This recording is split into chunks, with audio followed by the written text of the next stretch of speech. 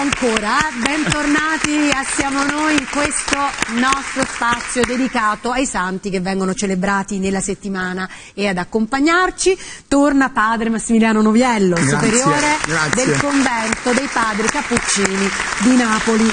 Padre Noviello, allora come di consueto vediamo i santi che ci accompagnano in questa settimana, partendo naturalmente dal lunedì 11 dicembre San Damaso, 12 dicembre i santi Epimaco e Alessandro, 13 dicembre giorno di Santa Lucia, il 14 dicembre San Giovanni della Croce, il 15 dicembre venerdì Santa Maria Crocifissa di Rosa, sabato 16 dicembre Santa Margherita da Cortona e infine domenica 17 dicembre San Floriano. Bene, allora padre Massimiliano, io direi di partire, partire mh, con la figura, una figura insomma, di grande sostanza di San Giovanni della Croce, nato nel 1542, fu canonizzato nel 700, nel 1726 da Benedetto XIII, Sì. conobbe ed ebbe un legame molto stretto con Santa Teresa d'Avila. Tra poco di questo incontro noi parleremo, però io vorrei che lei subito ci dicesse, padre Massimiliano, come avvenne la conversione di San Giovanni della Croce. Di, eh, San Giovanni della Croce viene da una famiglia umilissima, eh, semplice, povera. Pensate che all'età di nove anni eh, Giovanni eh, si dedicò al lavoro presso le suore ehm, eh, del, suo- del monastero lì vicino al suo paese. Lui nacque nella vecchia, nella vecchia Castiglia e quindi ehm, presso queste suore eh, che in cui Giovanni della Croce manifestò una capacità intellettiva eh, notevole e, questo lo spinse addirittura a proseguire gli studi. E intanto fu accolto come infermiere presso eh, presso l'ospedale della Concezione e qui dall'ospedale della Concezione fu accolto nel collegio dei padri gesuiti Ecco, dove esattamente? Dove siamo? n- nella vecchia, nella Ecco, vecchia, sempre Cas- che sì, nella vecchia Castiglia. Lo abbiamo Sì. collocato geograficamente.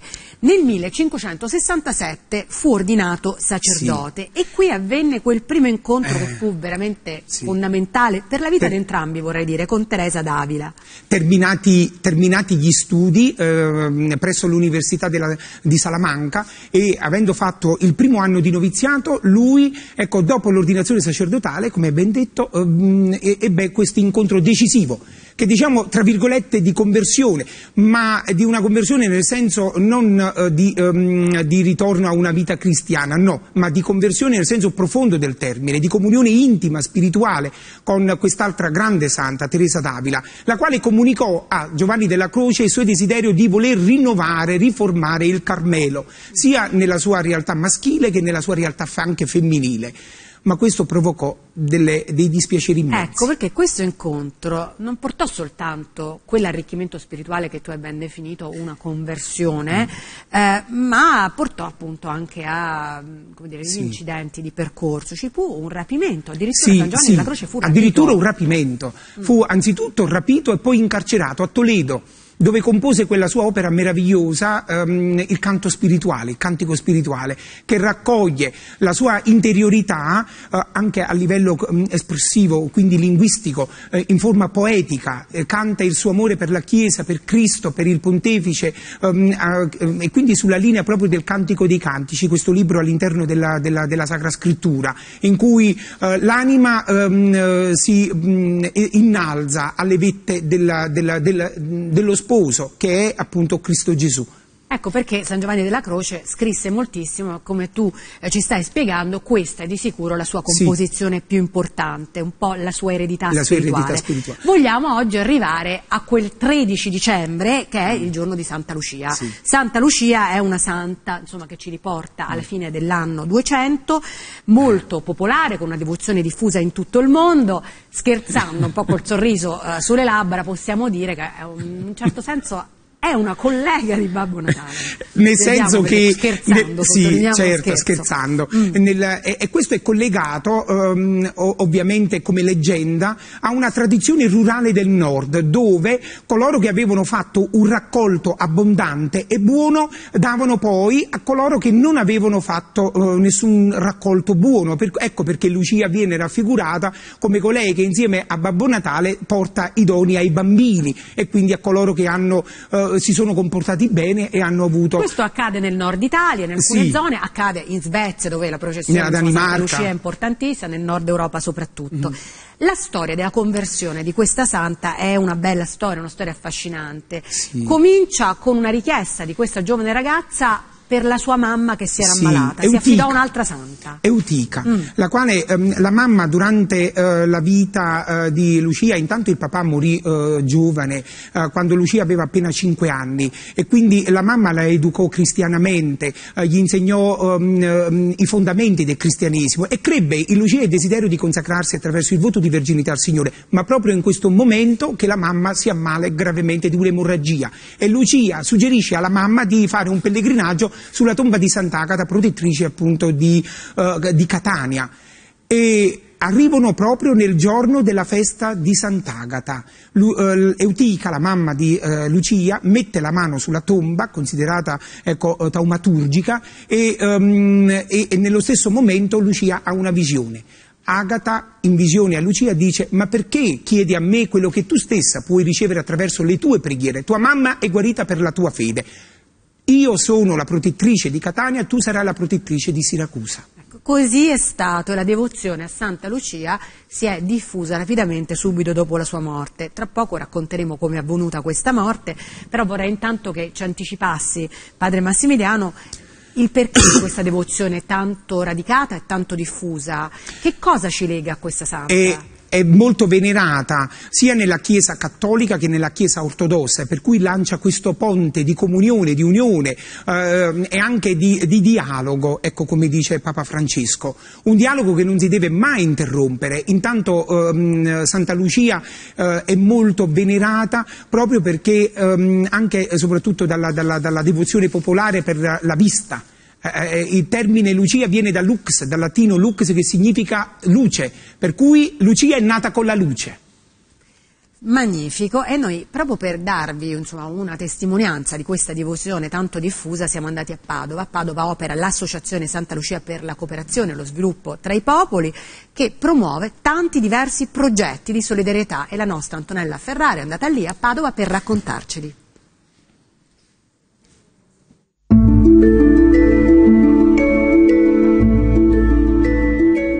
Santa Lucia era attesa dai bambini come colei che portava i doni.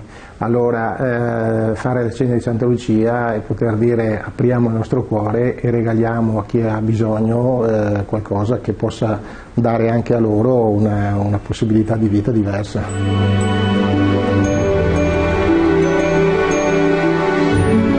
L'associazione Santa Lucia è una fondazione, è nata nel 2010 per dare, potremmo dire, continuità e sviluppo alla- a questa grande cena dove eh, gli ospiti eh, vengono, si trovano una, una preparazione molto, potremmo dire, elegante. All'interno di questa cena poi ci sono tutta una serie di incro- di incontri, di testimonianze, di presentazione dei vari progetti. Lo scorso anno abbiamo appunto deciso di devolvere una parte del ricavato a sostenere le cucine popolari.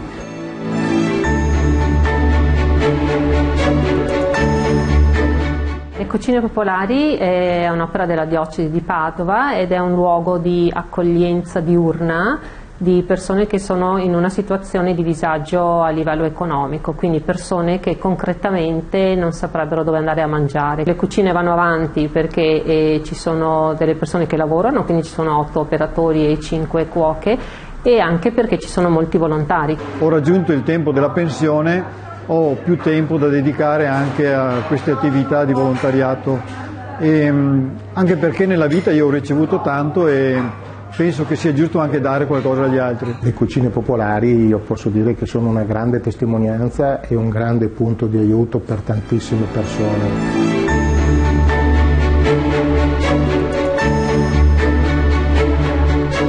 Io sento un collegamento con eh, Santa Lucia, che è la protettrice della- di chi ha problemi agli occhi, appunto, no? Perché per me qui ci sono le persone che sono invisibili. Quindi Santa Lucia ci aiuta proprio a dire ma imparate a guardare e a vedere, vedere quelle realtà che non vogliamo vedere. Li abbiamo scelti perché noi cerchiamo sempre di aiutare quelle opere che possono essere e contenere un richiamo come dire, educativo, un richiamo ideale eh, di attenzione ai poveri.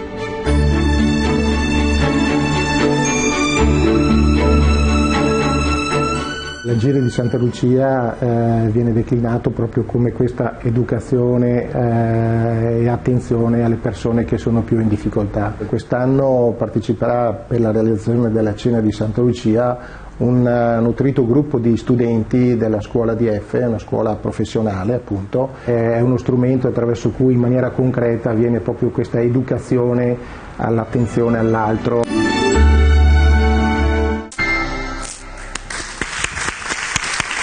Santa Lucia che stiamo vedendo anche in tante diverse immagini perché veramente è stata rappresentata in molti diversi modi. Martire cristiana, infatti la storia della sua morte, delle torture cui fu sottoposta lo dimostrano. Ma perché? Da chi fu perseguitata?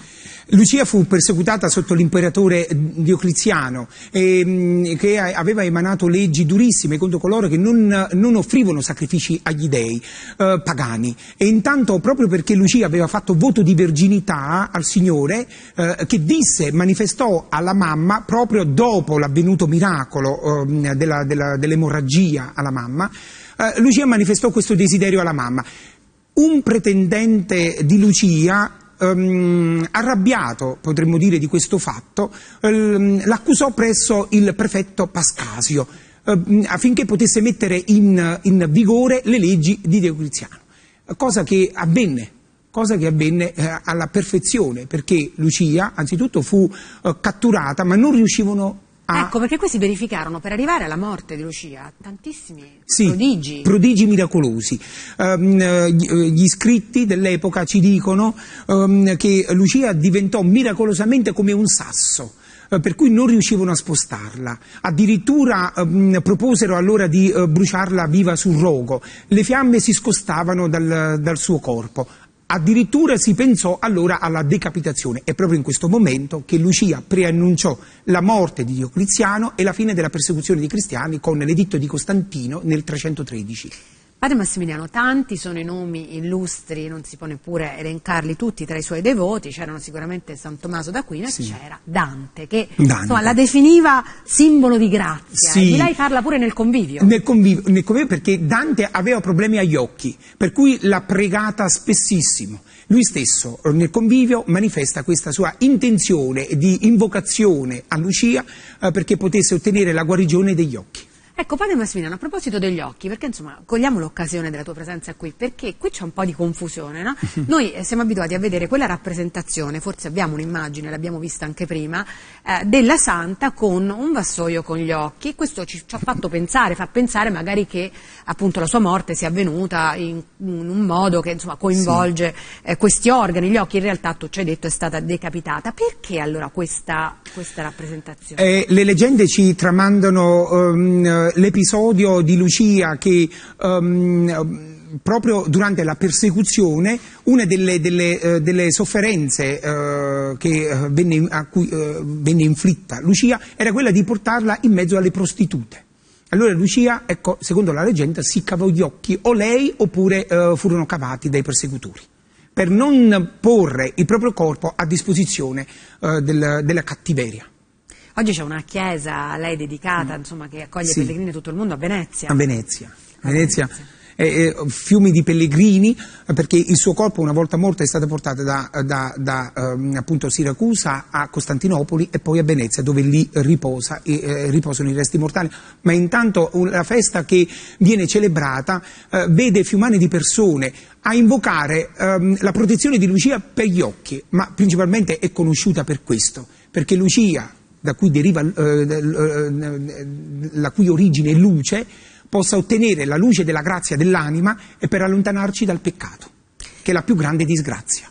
Allora, per concludere adesso, non perché la consideriamo meno importante degli altri due santi che l'hanno preceduta, io vorrei con, con lei, eh, passo dal, te, dal, te, dal, tuo a lei, eh, ormai insomma questo percorso lo stiamo facendo da diversi mesi certo. insieme, vogliamo parlare di Santa Maria Crocifissa di Rosa, sì. che fu eh, beatificata eh, durante la Seconda Guerra Mondiale da Pio XII, era il 1940, e canonizzata poi il 12 giugno del 1954. E attenzione, noi la ricordiamo soprattutto perché fu la fondatrice Beatrice, delle ancelle della carità.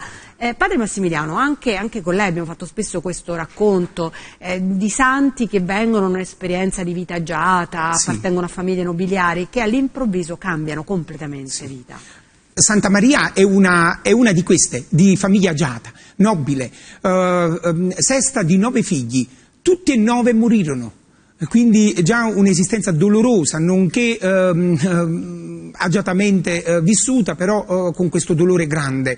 Fu educata cristianamente dalla mamma, la quale anch'ella morì e eh, dopodiché il papà eh, la pose nel collegio delle suore visitandine, dove rimase ehm, e si distinse per esemplarità di vita, rimase fino al diciassettesimo anno di età. Eh, Ricordiamo anche l'epoca in cui visse, perché abbiamo detto canonizzata. Sì, siamo, nel 1800. Siamo nell'Ottocento. Quindi eh, una, una, santa che ha vissuto... Siamo agli in, inizi della, del, del, insomma, in piena epoca industriale. Industriale, una santa che ha vissuto intensamente la sua epoca e anche il suo carisma si adatta benissimo alla sua epoca. Eh, Ecco, perché lei fece una scelta che aveva a che fare appunto con le sì. nascenti industrie, con lo sfruttamento sì. soprattutto della manodopera femminile. Uh, addirittura questa santa si, aperò, si, adoperò tantissimo uh, durante, uh, perché è nata a Brescia, uh, durante i, i, dieci giorni di rivoluzione politica a Brescia, stiamo nel 48, quindi 49, e si adoperò per, per, mh, mm, per, la cura degli ammalati, um, addirittura anche per um, situazioni di infermiere che non erano all'altezza della, della, situazione, per cui formò le ragazze per venire incontro al, alle sofferenze istituendo la pia società delle infermiere, curando addirittura e istruendo le infermiere e passava lei stesso a curare queste infermiere non soltanto um, materialmente ma anche spiritualmente, cioè eh, pensate che contava ehm, l'ospedale civile di 72, 72 infermiere.